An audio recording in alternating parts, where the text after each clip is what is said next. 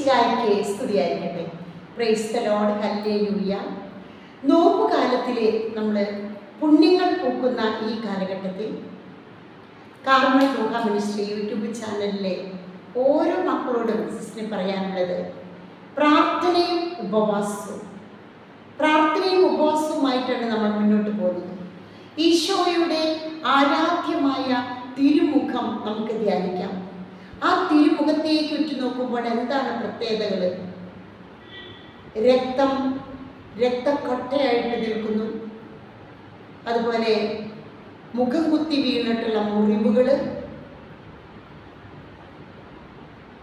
മറ്റുള്ളവരുടെ തുപ്പലുകളെല്ലാം സ്വീകരിച്ചത് വികൃതമായ ഈശോയുടെ തിരുമുഖം.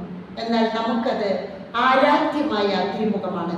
കാരണം ഈശോ നമ്മെ രക്ഷിക്കുവാൻ വേണ്ടിയാണ് ഈ പീഡകളെല്ലാം സഹിച്ചത്. നമ്മുടെ അതിക്രമങ്ങൾക്ക് വേണ്ടിയാണ് അവിടുന്ന് സഹിച്ചത്. അവിടുന്ന് പീഡയേറ്റത്.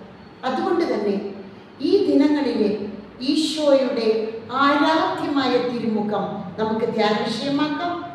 ക്രൂശിത രൂപം നമുക്ക് ധ്യാന വിഷയമാക്കാം. നമ്മുടെ പ്രാർത്ഥനാ മുറിയിലെ ക്രൂശിത രൂപം നമ്മൾ എടുത്തു വെക്കുന്നു.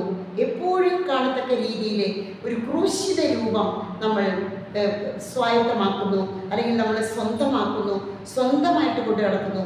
അല്ലെങ്കിൽ നമ്മുടെ പ്രാർത്ഥനാ മുറിയിൽ വലിയൊരു ക്രൂശിത രൂപം എപ്പോഴും ധ്യാന വിഷയമാക്കാനായിട്ട് നമ്മൾ ആരാധ്യമായ നിങ്ങളെന്റെ മുഖം തേടുക oh Jesus show your face എന്ന് പറയുമ്പോൾ കർത്താവിന്റെ മുഖം തേടുക ആമേ